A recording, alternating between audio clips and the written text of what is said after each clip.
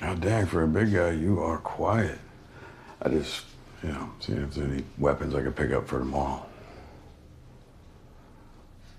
Look, I know you're not the president of my fan club. I get it. But all you need to know is that we are on the same side and this plan is gonna work. The work. two of you are leaving here tonight. I think you got the wrong idea about me. Do I?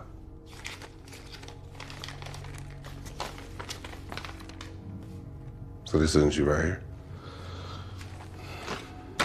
Says if you have any information on this man, notify any office of the new Babylon marshals.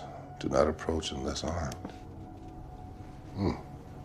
Where, uh, where'd you get that? I got it from you. Must be proud of yourself to keep it on you.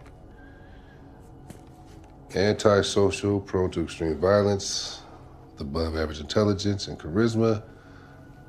Do not trust him. The thing is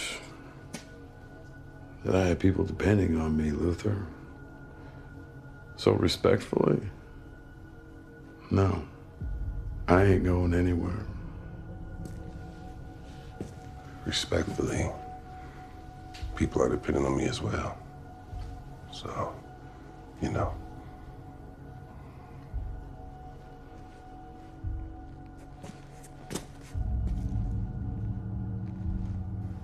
All right, here's the deal. I am, uh, I'm gonna try this one more time.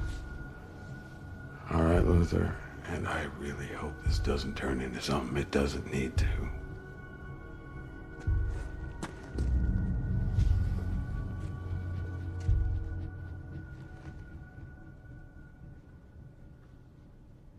Okay.